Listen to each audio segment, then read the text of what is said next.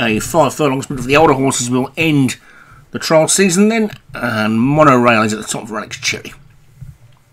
Familiar Lines and Management Oath for Darren Thompson. Another one I was expecting another letter on the end of that. Open indeed art, Dan Hughes. Windmill in the Dark, Martin Lidham. The Start, Munas. Shadow Government, Paul Rhodes.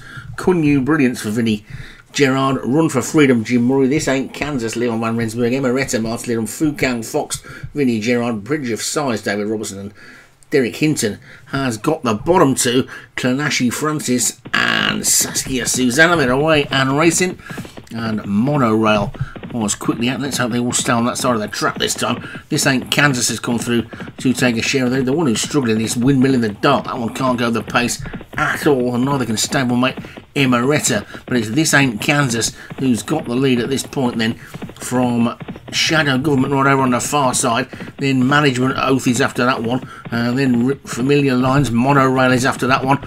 And it's Management Oath in the lead now. Shadow Government, there's about eight or nine of them virtually in a line as they pass the two furlong pole and it's probably just his Kunyu brilliance down on this near side. He's got the Fukang Fox though.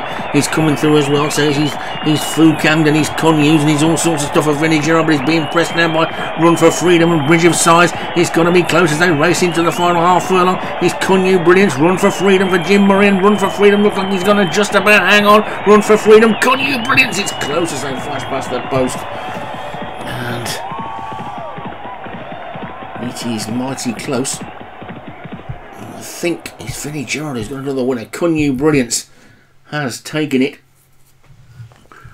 for Vinnie Gerard. Run for Freedom was second for Jim Murray. Fukang Fox for Vinnie Gerard was third. Bridge of Sighs, David Robertson fourth. Wonder if he's a Robin Trower fan. Then Shadow Government was fifth for Paul Rhodes. So there you go. That's your trial sorted out. I'm understanding that the season's due to start right about the back end of May now, somebody said. So I'm sure everything will be posted in the forums, but that's your lot trials wise. So you know what you've got to do now, you know where you stand, and I know where I stand. and I'm probably time to retire.